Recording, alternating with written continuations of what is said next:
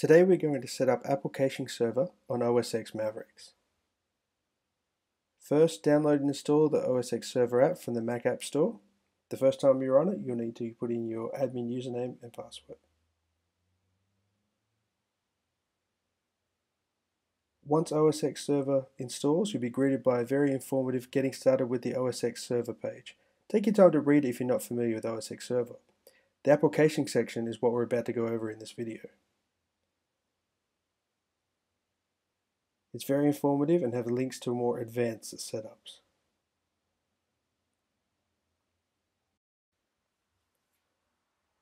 Once you close the Help section, you'll see the Server app interface. The first option in the Services menu is Caching. Select Caching to bring up the Cache Settings window. The first thing we'll configure is where the service will store cached content. I've selected the second drive on my server, but you can select an external hard drive if you wish. Now click Continue, and you'll have to wait a few seconds while the hard drive is prepared. Now the service has a place to store Mac and iOS updates and applications, we can look at turning the service on. At the moment the status is offline, once you turn the status from off to on with the slider in the top right hand corner, you'll see it change from offline to starting and finally to available. Now devices connected to your network will look to use the Mac for updates rather than the App Store, hopefully using, saving you some internet bandwidth.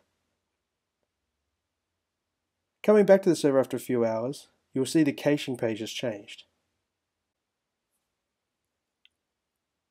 The usage bar at the bottom now has 550 meg of Mac apps and 35 meg of iOS apps cached in the short amount of time I've had this running.